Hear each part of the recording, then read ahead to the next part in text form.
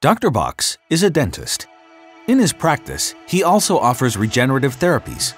Sometimes he faces challenging situations, such as in this case, where the patient would benefit from a GTR approach. But how exactly should Dr. Box proceed? A great source of information to help find a solution is at hand. The Box, the online community of the Osteology Foundation. It provides tools, information, and a network for everybody interested in oral tissue regeneration.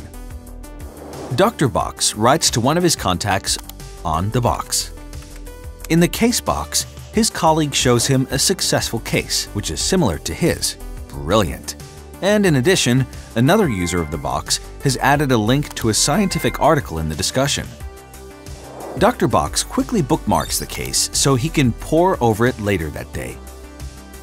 Next day, Dr. Box has enough information to finalize the treatment plan. Yes! In preparation for the surgery, he uses the checklist tool on the box, so he is able to review all pre, intra, and post-surgical details in advance. The surgery went well, and the follow-up is also very pleasing. Dr. Box has documented everything with photos and uploads the case to the case box to share it with the community. A researcher from Brazil notices the case and the nice results.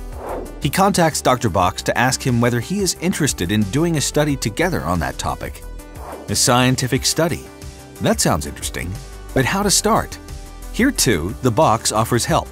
The Research Wizard. It helps Dr. Box to develop a preliminary research plan, which he can share with his collaborator. It also points him to important resources, such as the Osteology Research Guidelines, which are also available on the box. Oh, what's this?